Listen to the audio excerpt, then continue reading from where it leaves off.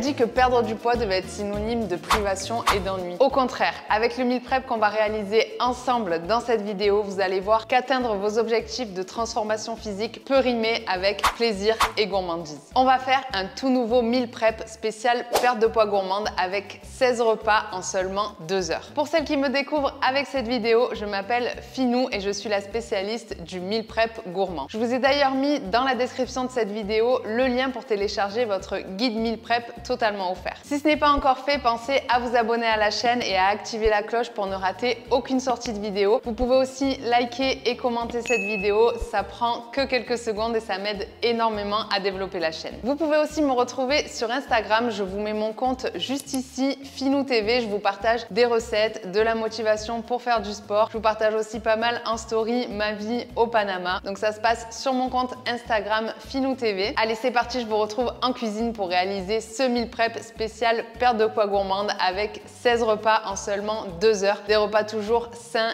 équilibrés, faciles à faire, mais gourmands. Que demander de plus? C'est parti, on démarre par le gratin de poireaux au poulet. Donc on prend nos poireaux, on coupe l'extrémité et on vient le couper en rondelles. Je l'ai préalablement lavé bien sûr.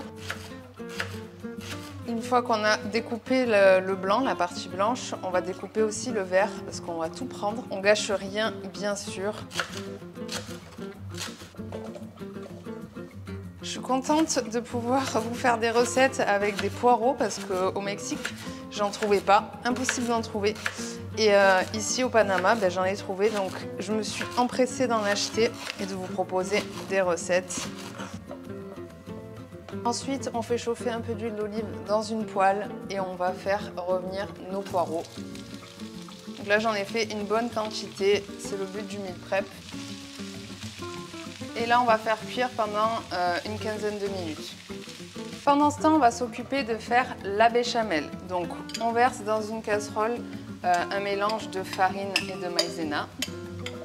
On ajoute dans un premier temps un peu de lait pour bien diluer.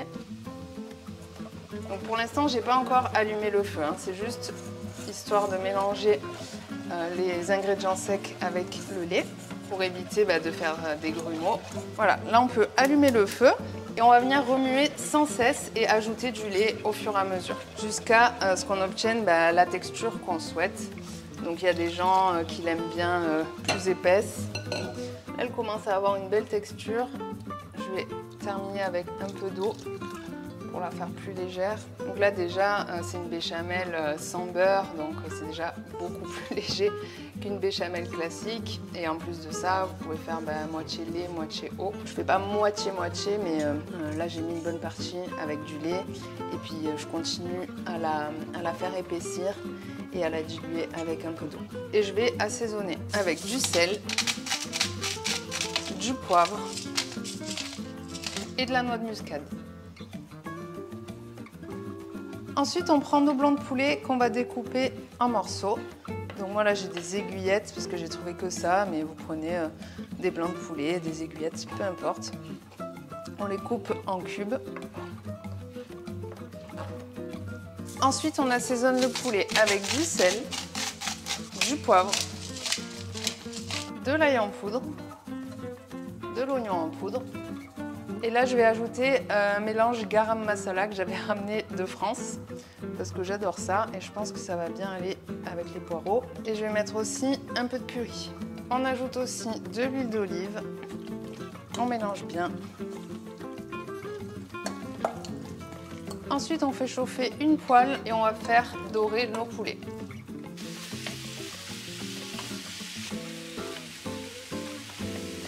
Vu que quand on va enfourner euh, le gratin de poireaux au poulet, on va aussi enfourner des filets de poulet pour les faire cuire euh, au four, je vais venir les assaisonner. Donc là, j'ai pris des aiguillettes de poulet. Vous pouvez prendre des filets de poulet, ce que vous voulez. Et on assaisonne avec du sel, du poivre. Je vais mettre du paprika fumé.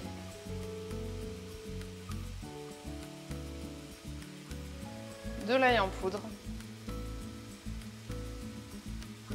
Et un filet d'huile d'olive. Je mélange et on va les laisser euh, mariner bah, le temps juste euh, que le poulet au curry et à garam masala cuise. Et après, on va tout enfourner au four en même temps pour gagner du temps. Le poulet commence à dorer. On mélange. Maintenant, on fait préchauffer le four à 180 degrés et on va s'occuper de réaliser le gratin. Donc, on prend un plat à gratin dans lequel on verse les poireaux.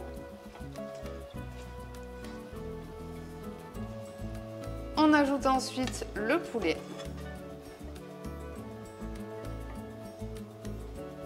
On recouvre de béchamel. On fait bien rentrer la béchamel un peu partout. Et on recouvre des mentales râpées, de fromage râpé que vous avez. Moi là c'est de la mozza. Si vous n'avez pas d'emmental et que vous avez de la mozza, ça marche. Si vous n'avez pas de mozza et que vous avez de l'emmental, ça marche aussi. Et on met de côté. Ensuite, on prend nos filets de poulet, nos aiguillettes qu'on va mettre dans un plat qui va au four. Voilà, donc on essaie de ne pas les mettre les unes sur les autres. Et ça, ça part au four à 180 degrés pendant 20 minutes avec le gratin. On enfourne le gratin et les filets de poulet pendant 20 minutes à 180 degrés. Maintenant, on s'attaque aux pommes de terre pour faire euh, notre écrasé. Donc, on les épluche. Et pendant ce temps, on a mis à bouillir une grosse casserole d'eau. J'ai trouvé que des petites pommes de terre comme ça, mais euh, je vous conseille pour gagner du temps de prendre des grosses pommes de terre. Vous perdrez moins de temps à les éplucher parce que ce genre de pommes de terre, c'est vraiment une galère. Je vais prendre aussi des patates douces parce qu'il m'en restait là, trois petites. Donc je vais les ajouter et euh, je vais faire moitié pommes de terre classique et moitié patates douces. Ça va être super bon. Maintenant, on prend nos pommes de terre et on les coupe en morceaux comme ça. C'est vraiment grossier parce que ça va partir à l'eau bouillante. C'est juste pour que la cuisson euh, ne dure pas des heures, pour que ça aille plus vite. Et après, ça finira de toute façon écrasé. J'ai mis aussi l'eau à bouillir pour le riz parce qu'on va faire aussi une portion de riz. Enfin, une portion. Plusieurs portions en mille prep, on ne fait pas une portion. Le riz, du coup, on en a besoin pour euh, deux recettes différentes. Du coup, on va faire pas mal de portions. On fait pareil pour les patates douces. Je coupe les extrémités. Patate douce, on peut la couper même en plus petits morceaux parce que c'est plus difficile à cuire. Donc au plus c'est petit, euh, au moins ça prend de temps à cuire. L'eau des pommes de terre est frémissante. Fais attention en les mettant dans l'eau de ne pas me brûler. Et on va les faire cuire 10 euh, à 15 minutes. L'eau du riz aussi est en train de bouillir. Je verse mon riz et je laisse cuire aussi 10 minutes. On continue sur les pommes de terre et cette fois-ci, on va les couper sous forme euh, de potatoes, on va dire. Vous pouvez les couper euh, de la forme que vous voulez, mais moi je vais les couper comme ceci et on va les faire cuire à l'air fryer. Donc très simplement avec un tout petit peu d'huile d'olive et euh, sel, poivre, herbes de Provence. Et si vous n'avez pas d'air fryer, bah, vous pouvez les faire cuire au four. Ce qu'il y a de bien avec l'air fryer, c'est que ça nécessite vraiment pas beaucoup d'huile. Une cuillère à soupe d'huile, ça suffit. Et en plus, ça va vite, il n'y a pas besoin de préchauffer. Donc c'est vraiment super pratique pour le meal prep. Le air fryer, je vous recommande. Les pommes de terre, je vais les assaisonner simplement avec du sel, du poivre, de l'origan, du thym ou des herbes de Provence, ce que vous avez, et de l'huile d'olive. J'ai pris mes deux plaques euh, qui vont dans l'air fryer, je mets une feuille de papier cuisson et je répartis mes pommes de terre. Donc j'essaie de ne pas trop les faire euh, se chevaucher. Voilà, j'essaie de bien les répartir. Je vais les enfourner pendant 20 minutes à 180 degrés et après je vais euh, à mi-cuisson les retourner. Si vous avez un four, je vous conseille de mettre plutôt à 200-220 degrés et ajuster la durée de cuisson entre 20 et 30 minutes.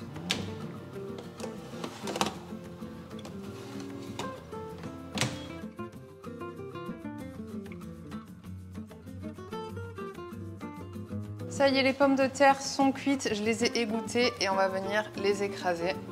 Donc j'ai investi dans un écrase pommes de terre et j'avoue que c'est pas mal, beaucoup mieux qu'avec la fourchette.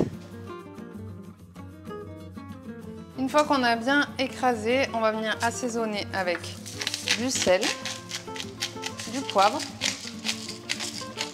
de l'ail en poudre et de la ciboulette. Donc si vous en avez fraîche, c'est encore mieux. Moi, j'en ai pas trouvé. J'assaisonne pas beaucoup plus parce qu'on va manger l'écrasé de pommes de terre avec les poireaux au lait de coco.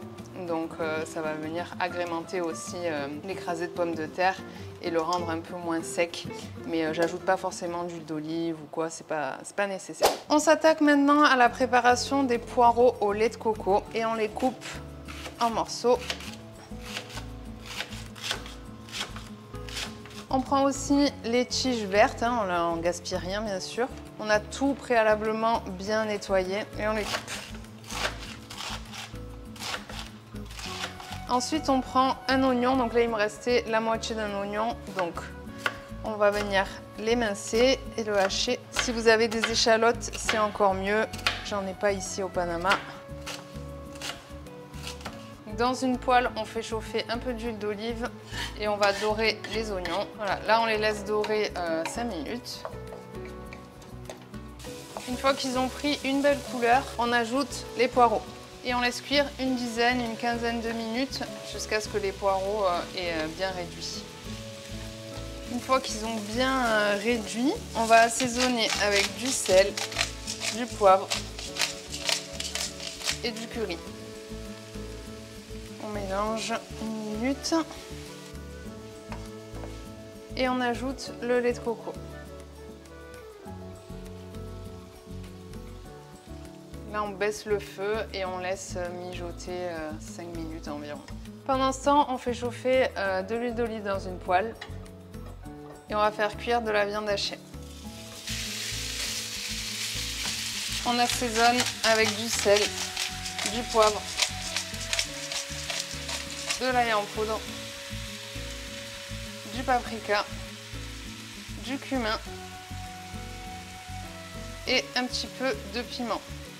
Cette viande hachée, elle va nous servir pour faire un style de bol avec les pommes de terre qu'on a fait cuire à l'air fryer, la viande hachée, on va mettre aussi euh, tomates, oignons, euh, avocat je pense, ça va être super. Ensuite, on va s'occuper de faire les boulettes de viande hachée. Donc, on prend de la viande hachée qu'on assaisonne avec du sel, du poivre, de l'ail en poudre, de l'oignon en poudre, du cumin, du paprika et un peu de la On ajoute du persil et de la menthe fraîche ciselée et deux œufs. Et j'ajoute aussi un peu de chapelure.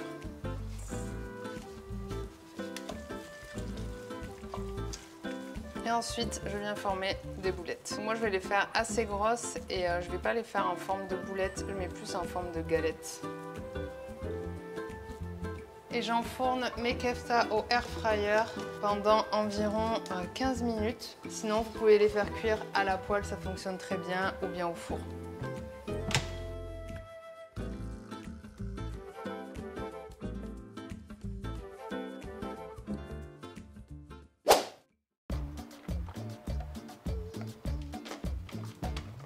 Là, j'ajoute des tomates cerises, mais vous, quand vous faites euh, vos plats, bah, vous les mettez bien sûr au dernier moment. Tout ce qui est crudité, salade, tout ça, ça se met au dernier moment. Moi, je vous les mets comme une suggestion euh, de présentation, on va dire. Et là, je vais rajouter aussi le jour J. Je vais pas le mettre maintenant parce que sinon, il va noircir, mais euh, un petit peu d'avocat que je vais juste écraser avec un filet de citron, sel, poivre, et ça sera parfait. La viande et les pommes de terre, ça se mange chaud. Avec les tomates cerises et l'avocat écrasé, ça va être une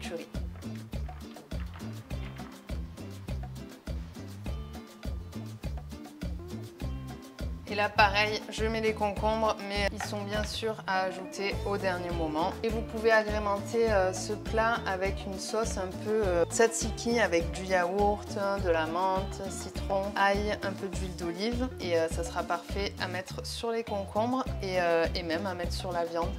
Ça peut être délicieux.